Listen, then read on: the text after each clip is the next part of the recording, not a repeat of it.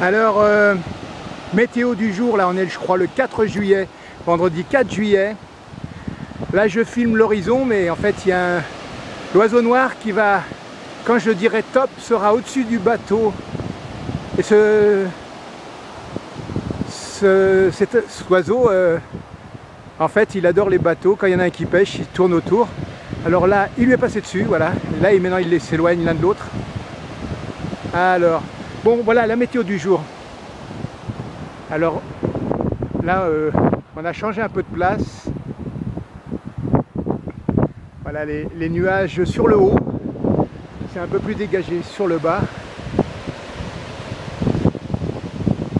Voilà là-bas le cap là où c'est. Alors le vent, le vent il vient de bah, toujours du côté du soleil. Hein. Voilà, euh, nord-ouest quelques nuages un peu foncés. Des trouées euh, bleues. 24-25 degrés, hein, une assez belle température. Voilà, en bas, c'est le port de Plaisance. Que dire de plus euh, Le vent n'est pas très soutenu, 30-40 alors. Voilà. Alors là, comme vous pouvez le voir, c'est les vestiges de civilisation de 4014 après Jésus-Christ.